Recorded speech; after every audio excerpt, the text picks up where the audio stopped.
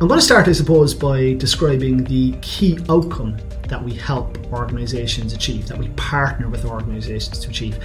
And that's the outcome of bringing their entire organization all together into one single location.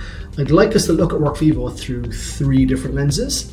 Firstly, as an employee communications platform and how it has delivered a transformative communications experience for many hundreds of our customers, helping those customers, helping those organizations to not just more strongly and better inform, but also to more strongly connect and engage all of their employees equally with everything that's happening around the organization that is relevant to them.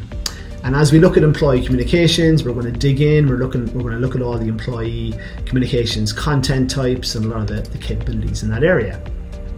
Secondly, I want us to look at WorkVivo as an employee digital portal or hub, as the center of gravity for the employee digital experience. A platform through which employees get ease of search, navigation, and access to all of the resources that they should have access to, helping them to work faster, to work smarter, and we'll look at the different platform capabilities and some of the points of integration as we uh, as we look at that use case.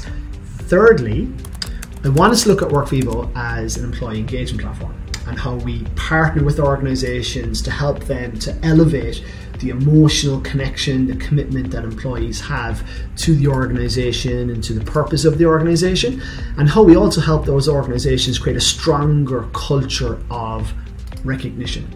Creating an environment in which every employee feels that their contribution, their sacrifices, and efforts are recognized, and also helping the uh, organization achieve um, their stated purpose and goals.